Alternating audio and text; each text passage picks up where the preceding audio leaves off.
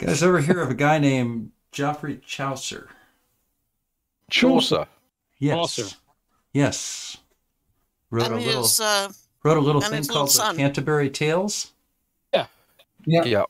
Well, what a lot of people don't realize is that he wrote probably the first technical writing in the English language.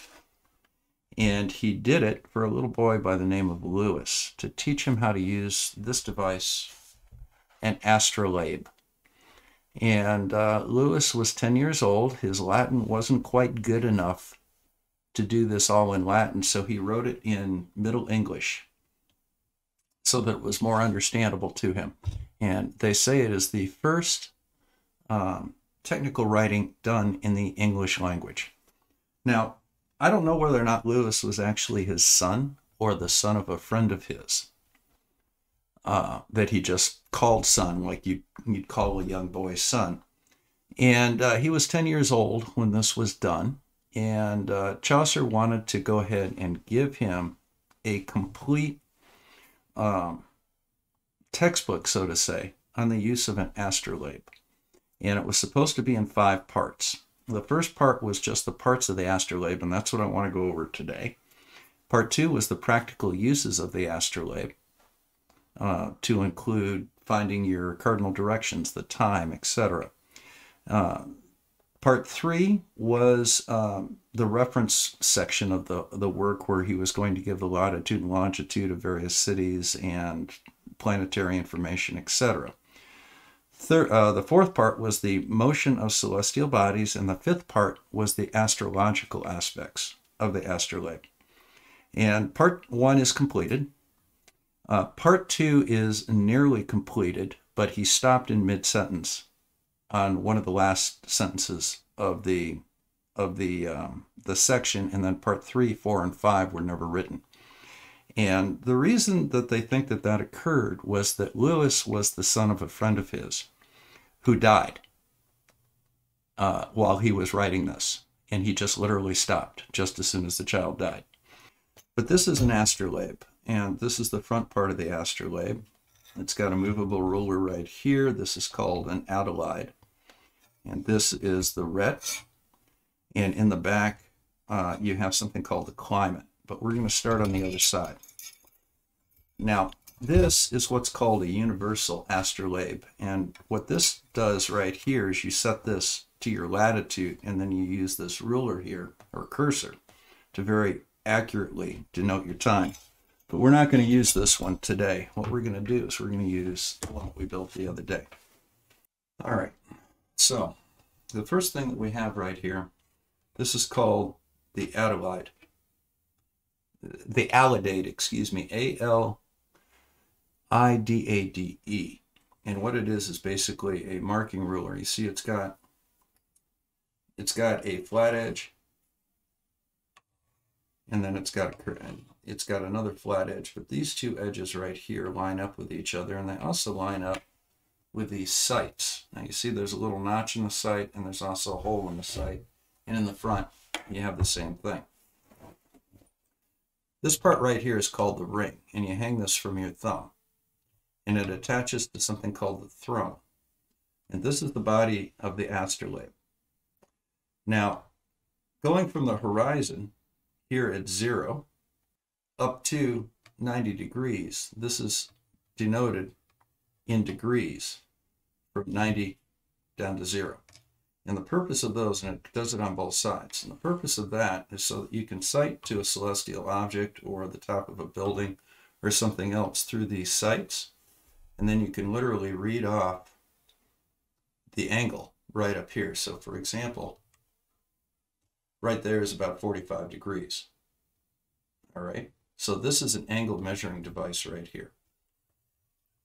The bottom part down here is called the shadow box, and this is used to measure down uh, into holes or up to the top of buildings. And it's got a scale on it that you can actually pace off the distance between the building and yourself. And then once you know that distance, the scale down here will tell you what percentage of that distance the height of the building represents. So for example, it may be one third of the distance. The height of the building may be one third the distance that it is to the building. So at 45 degrees, which would be this mark right here or that one, the height of the building would be the same distance as it would be to walk to the building. So, you know, that's the old flagpole. How high is the flagpole test that we all did in grade school? Now,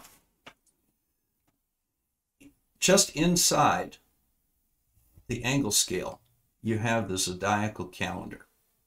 And it starts up here. This is this would be the summer solstice or the June solstice. So we go with Cancer, Leo, Virgo, Libra, Scorpio, Sagittarius, Capricorn, Aquarius, Pisces, Aries, Taurus, and Gemini. Now, each of these zodiacal signs has got 30 degrees assigned to it.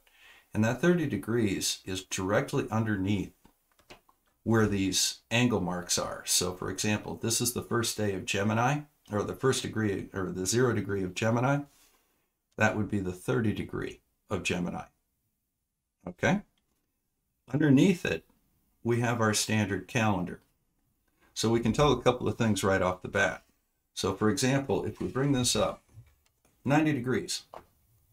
All right, 90 degrees will be the first of Cancer, and that is the summer or the June solstice. Then as we come down, we come to the first of Libra and the first of Aries,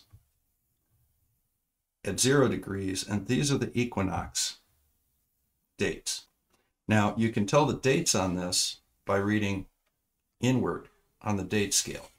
So, the summer solstice or the June solstice looks like it's June 21st. Then we have an equinox on September 23rd.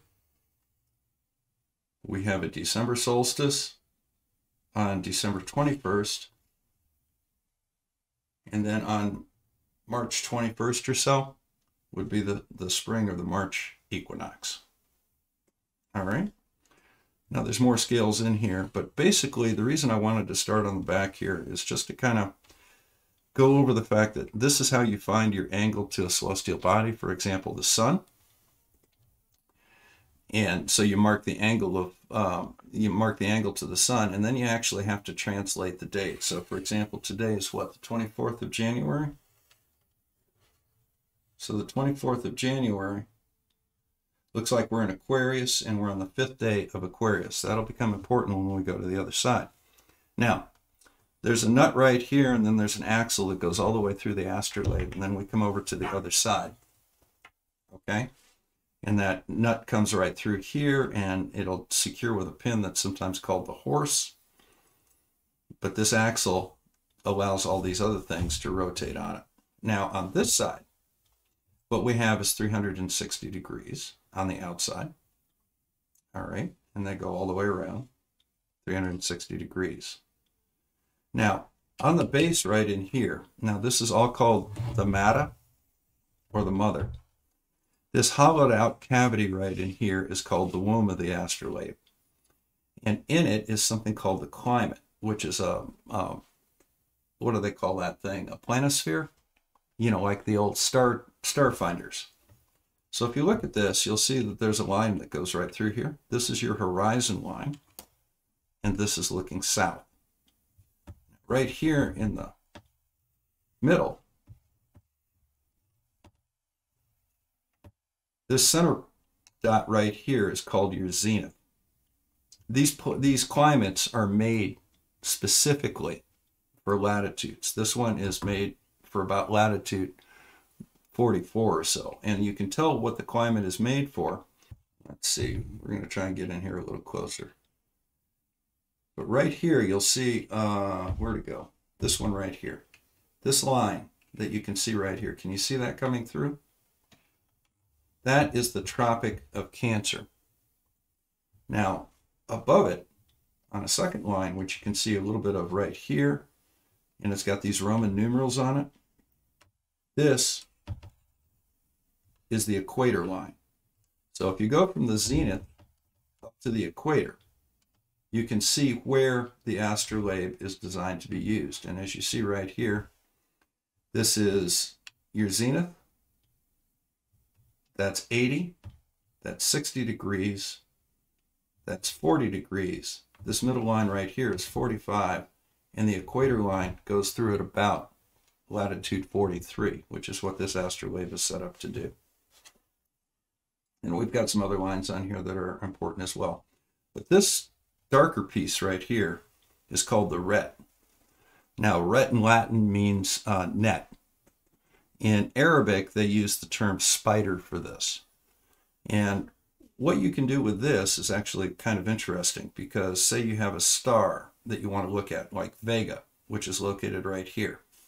Vega would be at the tip of this little pointer. And by going over to the other side and getting the altitude to Vega, you can then use these uh, these altitude lines. Let's see, there's a name for these. Almacantars, okay? And they start here at the horizon. Then it goes up to 20 degrees, 40 degrees, looks like 60 and 80 degrees. And the top one right here is 80 degrees. And then the center, of course, is 90. So Deneb would be very near your zenith at 43 degrees north latitude when the when the astrolabe is in this position. If you measure Vega and it comes out to 40 degrees above the horizon, what you can do is actually bring that tip right down to the 40 degree line at Vega.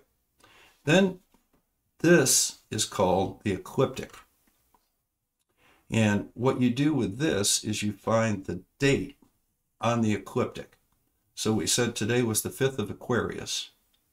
So what we're going to do is we're going to bring our ruler, or a label they call it, over to the fifth day of Aquarius, which would be right here. And Vega will be at that position at 2.30 in the afternoon. So that's one way that you can tell time with this. So let's go ahead and uh, do a quick example here. Now I'm going to go ahead and I'm going to get, I'm going to bring up Stellarium and this will be for Alma, Michigan, which is about 41, 42 degrees north, so it'll be slightly off of what we have here. Well, in any event, right up here, uh, I've selected the sun, and right up here, we've got the celestial data on the sun, all right? And right here, you're going to see the azimuth and altitude of the sun. And the altitude of the sun is 25 degrees, 22 minutes right now. So let's go back here to the astrolabe. What we're going to do is the ecliptic will tell you where the sun is. So today is the fifth day of Aquarius, and we want to line that up with the altitude ring that corresponds to 25 degrees. So right here is the fifth day of Aquarius. Okay. That would be located right there. Right there. So what we're going to do is we're going to bring this up. Now the fifth day of Aquarius is on just below 20 degrees. And we want to go to 25 degrees, which is going to be about right there. Maybe just a hair more. Then we bring our ruler around and we line it up with the fifth day of Aquarius and we can read off the time. Now the time right here this is 12, this is 12 o'clock noon.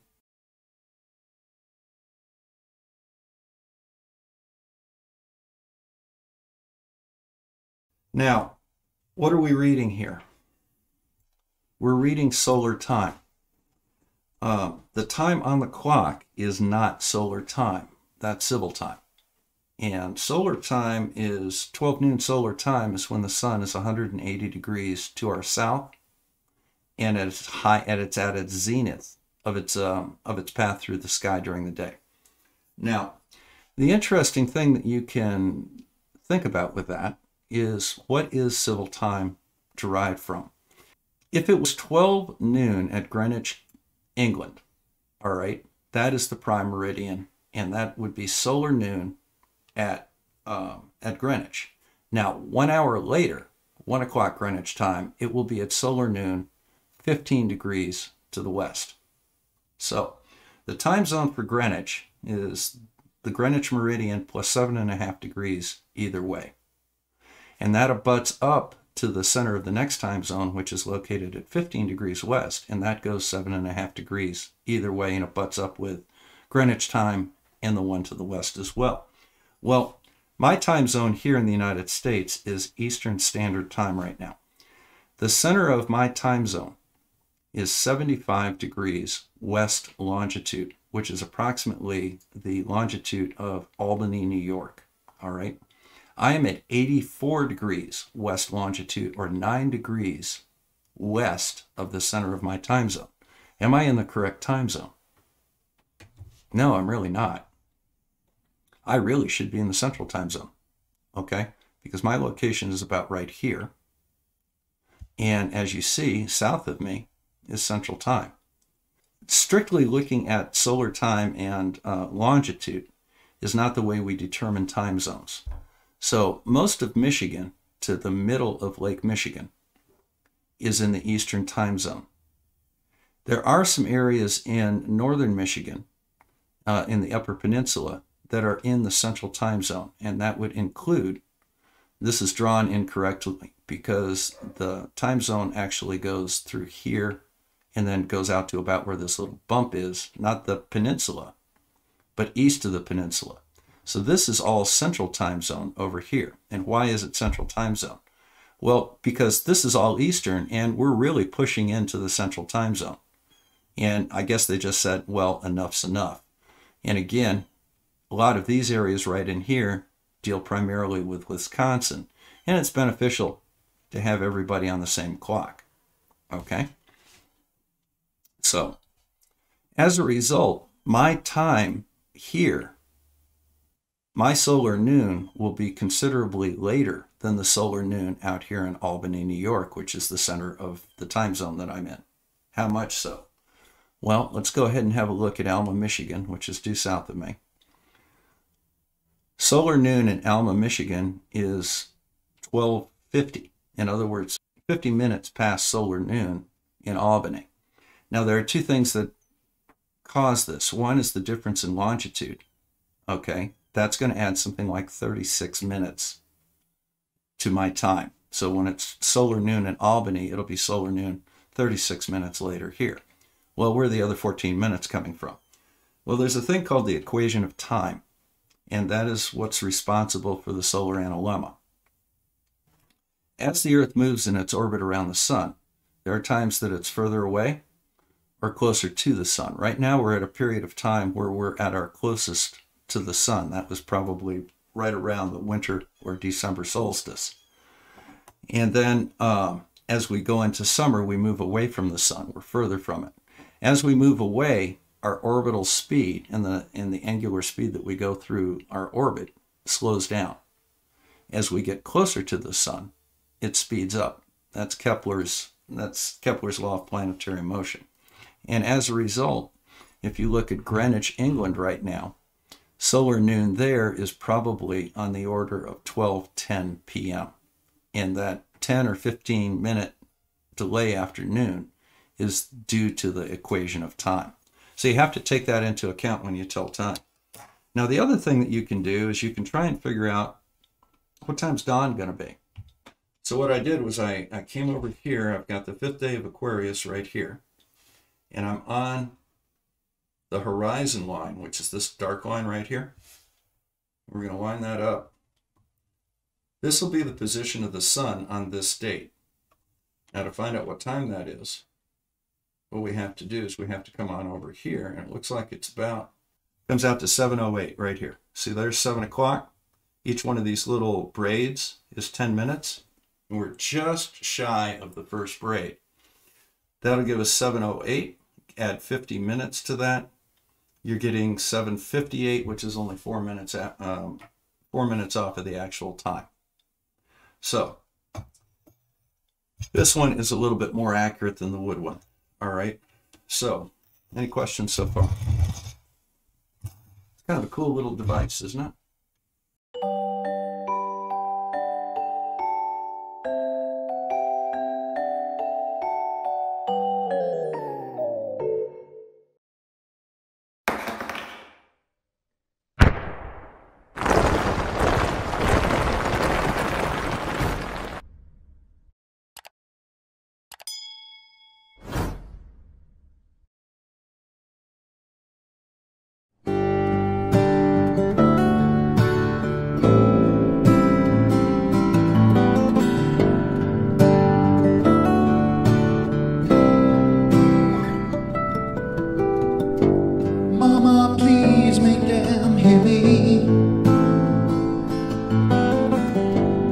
I can't teach them anymore.